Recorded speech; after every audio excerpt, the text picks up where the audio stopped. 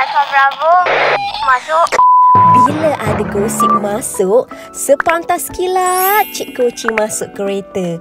Gosip dalam kereta.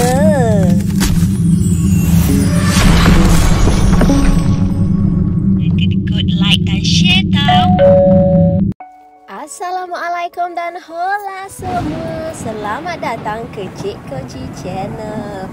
Jom-jom hari ni kita nak cerita mengenai ini baru anak handsome dapat bakal pilihan ibu. Mak pun tak risau anak pergi Thai kahwin sana. Ha, siapakah yang dimaksudkan tu? Jejaka mana tu? Jom kita tengok. Perkahwinan tentunya menjadi impian setiap insan namun atas beberapa sebab sesetengah individu memilih untuk tidak menjadikannya keutamaan.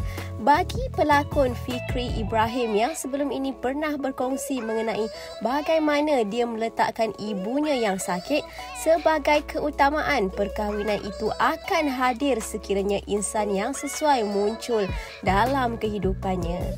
Kalau kahwin, biar dengan orang yang mak saya pilih lebih senang. Sebab tu kadang-kadang saya tak kahwin di nombor 8 bukan keutamaan kata Fikri Ibrahim. Wow, cayalah Fikri Ibrahim.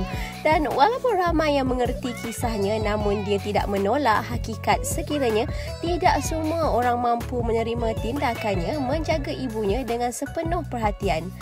Semua orang ada keinginan untuk berkahwin tetapi saya tak mahu bila saya kahwin nanti perhatian untuk isteri saya jadi kurang sebab saya jaga mak saya. Tak semua orang boleh terima. Saya tak mahu dia rasa bila dia kahwin dengan saya dia umpama menjadi hamba kepada saya. Jadi uh, saya korbankan dulu mengenai perkahwinan dan fokus menjaga emak saya. Kata Fikri Ibrahim. Wow, anak misali ni Fikri Ibrahim. Baguslah. Ditanya sama ada ibunya sering melontarkan pertanyaan mengenai, mengenai perkahwinan atau cinta kepadanya. Fikri berkata dia tidak pernah mendengar pertanyaan sebegitu daripada mulut ibunya. Mak saya okey. Dari dulu dia tak pernah kacau kehidupan peribadi dan kerjaya saya. Kadang-kadang kita pun tak mahu kosong kongsikan masalah kepada mak kita. Makcik-makcik yang cuba kenalkan dengan anak mereka memang ada. Tapi saya anggap itu sebagai gurauan saja, kata Fikri Ibrahim. Terbaru, Fikri kini dipilih menjadi Chief Espresso Officer CEO untuk jenama T-Life. Saya begitu terpuja kerana dapat bekerjasama dengan jenama minuman yang saya sendiri pun minum. Bagi saya, T-Life adalah jenama minuman yang harganya berpatutan dan sesuai dengan saya. Bersama T-Life, saya akan terbabit dalam beberapa program bersama mereka antaranya program khidmat masyarakat dan sebagainya. Itulah kata Fikri Ibrahim. Ah, macam mana gadis-gadis di luar sana? Ah, Fikri Ibrahim, ah, kalau nak pilih uh, calon isteri, dia pilih daripada calon mak dia tahu. Ah, siapa yang sanggup jaga mak dia, itulah calon isterinya. Ah, bagaimana? Dari subuh, Cik Koci bagi gosip terbaik semestinya dalam kereta. Terkadang mengejutkan.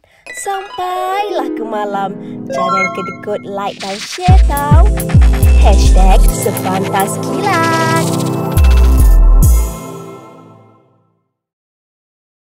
Diulangi artikel ini diambil dari artikel berkenaan.